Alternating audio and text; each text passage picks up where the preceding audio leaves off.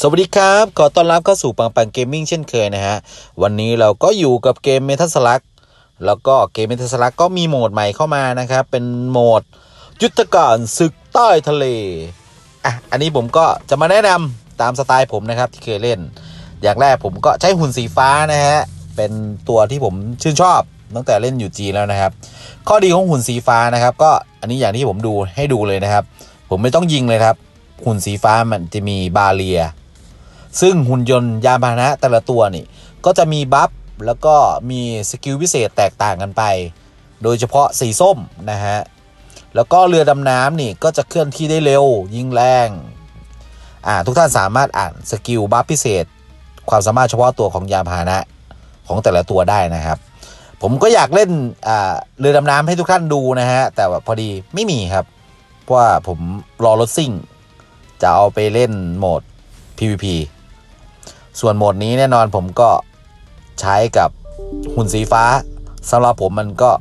เพียงพอละ ใช้ลุยได้ยาวๆเลยนะครับอะต่อไปเดี๋ยวผมก็จะไปแนะนำสไตล์ผมนะครับ ในการเลือกบัฟอะเรื่อง buff นี่ผมก็จะมีพยายามเลือก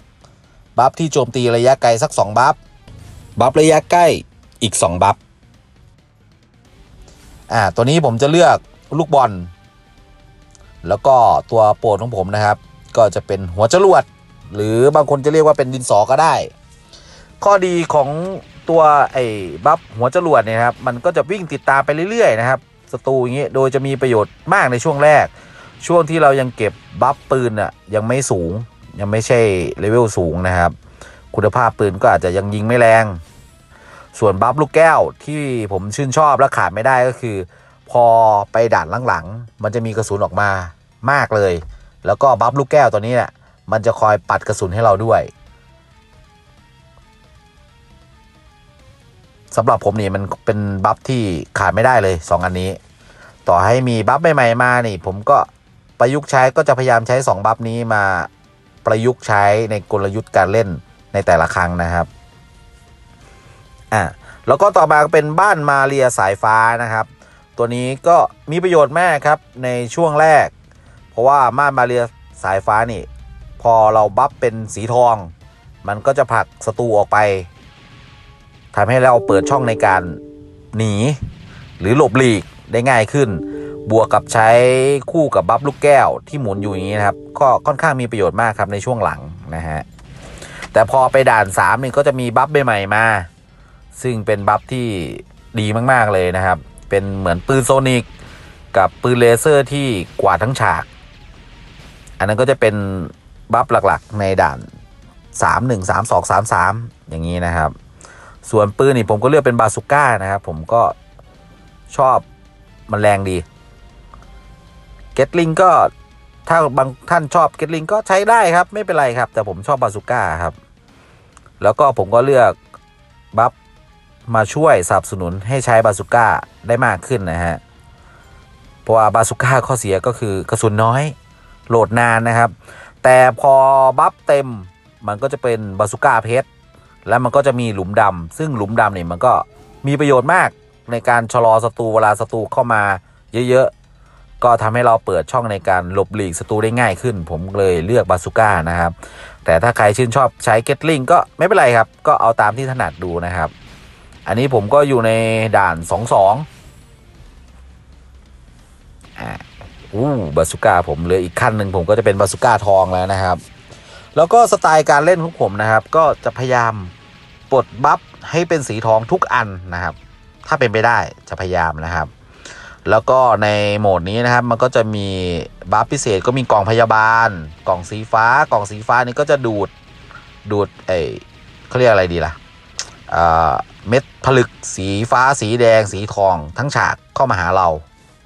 ก็ถือว่าเป็นมีประโยชน์มากครับ ไม่ต้องวิ่งเก็บเยอะ แล้วก็สุดท้ายก็จะเป็นเหมือนอไอพ่นพอถ้าเราเก็บปุ๊บเราก็จะวิ่งเร็วชั่วขณะหนึ่งนะฮะทุกท่านก็ได้ลองเล่นดูแล้วนะครับ ก็น่าจะพอเข้าใจได้คร่าวๆบ้างแล้วนะครับ ส่วนบัฟรอบนี้นี่ผมรอไอ้ธนูสำหรับธนูนี่ โหมดนี้ผมมองว่ามันจะมีประโยชน์ในช่วงระยะหนึ่งนะครับ จนกว่าจะได้ม่านน้ำแข็งมานะครับ เพราะธนูนี่ถ้าเกิดยิงกระจายออกไปโดนศัตรูเนี่ยมันก็จะชะลอความเร็วศัตรูด้วย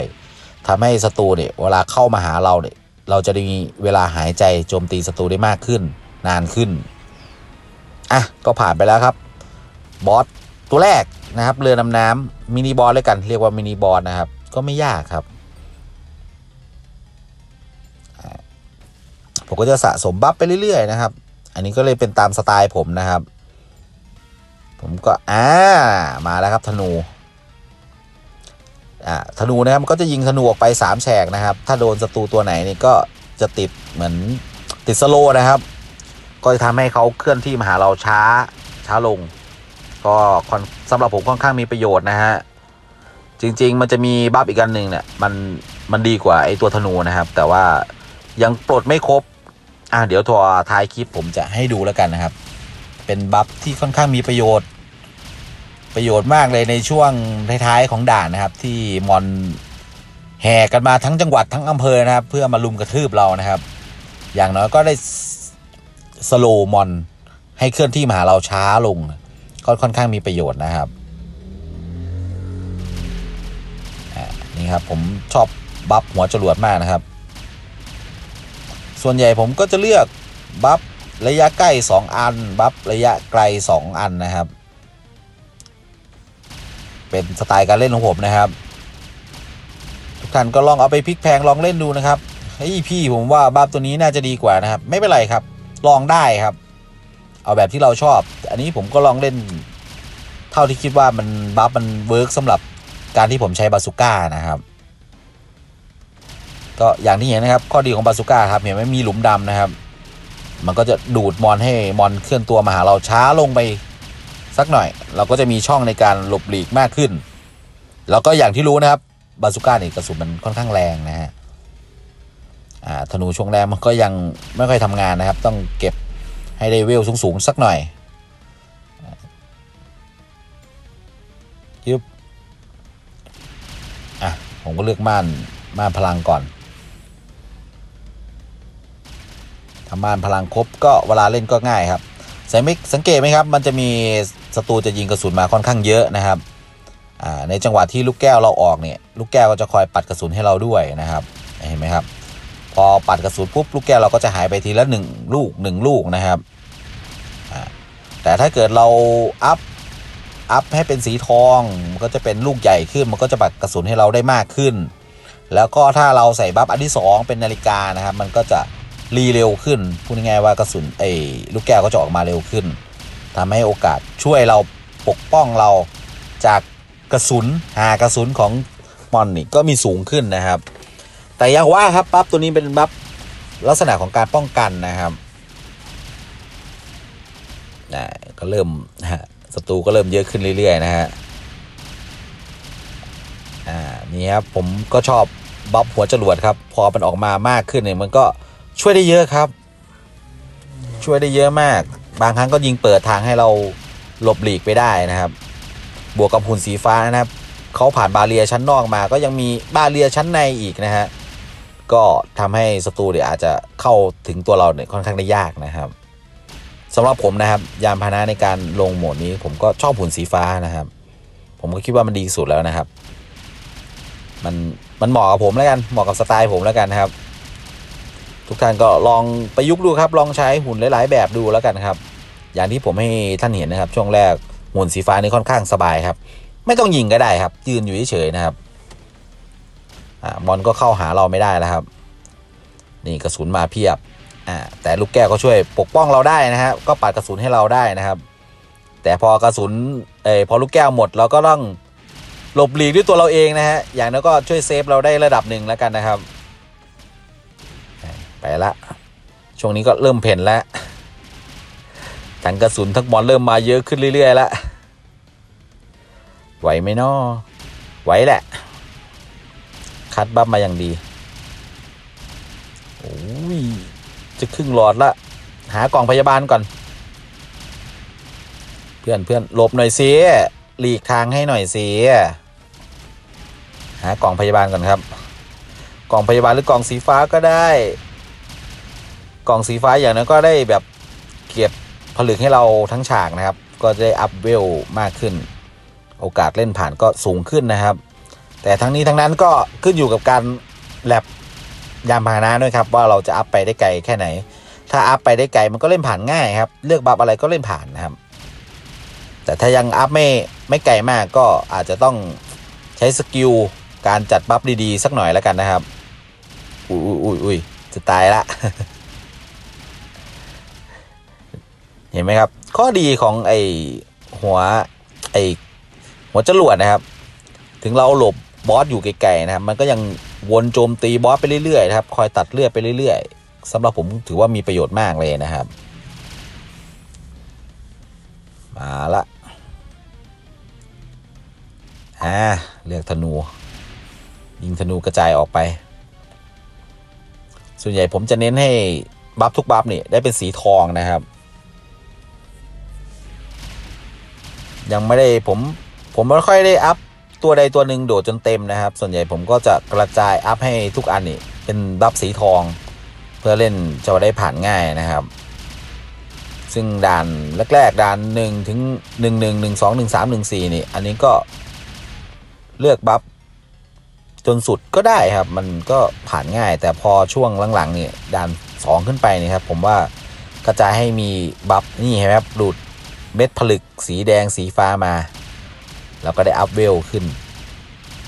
หากล่องเลือกก่อนอุ้ยเยอะจังเลยเนี่ยช่วยด้วยช่วยด้วยช่วยด้วย อันนี้ก็เป็นสไตล์ผมนะครับ ก็จะพยายามอัพให้ครบ 5 buff เลยครับเป็นสีทอง หลังจากนั้นค่อยไปเน้น buff ใด buff หนึ่งแล้วก็สำหรับปืนนะครับ พอเรา buff เป็นสีทองนะครับ เราจะใส่ buff อะไรก็ได้ แต่ว่าลองอ่านดูนิดนึงแล้วกันนะครับ เพราะแต่ละ buff เนี่ยมันให้มันให้ status ที่ไม่เหมือนกัน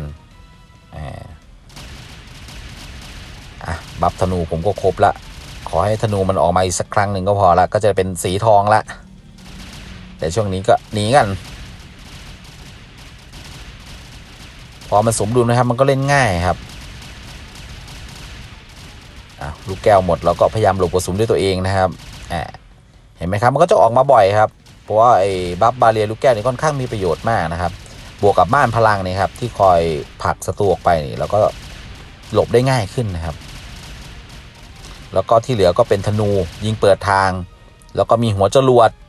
คอยเก็บกวาดตัดเลือกมอนทั้งฉากนะครับ อันนี้ก็เป็นกลยุทธ์สไตล์ผมนะครับ ทุกท่านก็ลองเล่นดูแล้วกันนะครับก็หลบมาได้ไกลพอสมควรแล้วครับ ใกล้ถึงด่านบอสละ แต่โมนี้ก็เล่นสนุกครับเล่นเพลินๆครับ แต่ต้องมีเวลากับให้มันสักหน่อยครับ แต่ละเกมนี้ก็สิบกว่านาทีขึ้นนะครับ ประมาณสิบสี่ถึงสิบเจ็ดสิบแปดนาที รวมๆก็ประมาณสิบกว่านาทีนะครับ ค่อนข้างใช้เวลาครับ แต่ก็เล่นเพลินๆดีครับ สนุกดีของรางวัลก็ดีครับ ไม่แย่ครับสำหรับผมนะครับ แล้วก็ซีซั่น3โหมดนี้ก็เปลี่ยนจากอเลซิโอเป็นอีเซเนอร์นะครับ ถ้าผมจำไม่ผิดถ้าเหมือนไทยแล้วกัน ถ้าจีถ้าไทยเหมือนจีนนะครับซีซั่นหน้าโหมดนี้ก็จะแจกเศษอีเซนานะครับอีเซเนอร์ไหมครับสำหรับผมค่อนข้างเพลินๆดีนะฮะเพลินๆหนีอย่างเดียวเลยตอนนี้หนีรอบอส นี่ได้ตัวเร่งความเร็วแล้วก็เพนสิ อ่า เจอบอสแล้วครับ นี่ลบ เห็นไหมครับ ผมค่อนข้างชื่นชอบไอ้ตัวไอ้กระสุนติดตามนะครับ ไอ้บัฟหัวจรวดนะฮะ บางคนก็เรียกว่าบัฟดินสอนะครับสำหรับผมมันมีประโยชน์มากเลยครับ ห็นไหมมันก็วนโจมตีศัตรูอยู่นั่นแหละ อะ เข้าระยะ เลือดไหลเป็นน้ำเห็นไหมครับ มันก็โจมตีของมันไปเองไปเรื่อยๆ สบายครับ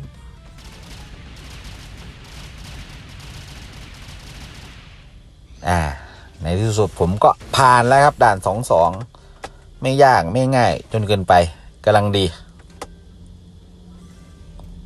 แต่ก็เสียเวลาไปพอสมควรครับ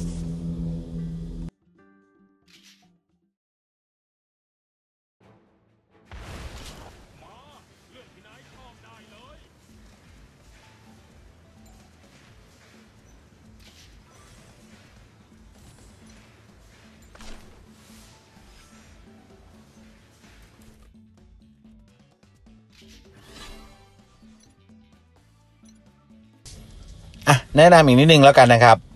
อ่า buff นะครับก็มาดูช่อง buff นิดนึงนะครับ ว่า buff ตัวไหนมันเรียงครบแล้ว ถ้าเรียงครบแล้วพอเราเลือกเสร็จปุ๊บก็จะได้ buff เป็นระดับสีทองอ่าตัวไหนยังไม่ปลดก็ลองไปดูนะครับ ว่าต้องทำ quest อะไรใช้อะไรหรือเปล่าเพื่อปลด buff แต่ละอัน บางอันก็เป็นผ่านด่าน ก็จะได้ buff อันใหม่มานะครับ อันนี้ก็เป็น buff น้ำแข็งนะครับ ถึงผมเลือกไปมันก็ยังเป็น buff สีทองไม่ได้ครับ ผมต้องปลดช่องนี้ก่อนช่องกลางก่อน ซึ่งการจะปลดช่องกลางก่อนก็ต้องใช้ skill shotgun blade ซึ่งผมก็ยังไม่ปลด ขอบคุณทุกท่านที่รับชมนะครับ พบกันใหม่คลิปหน้านะครับ สวัสดีครับ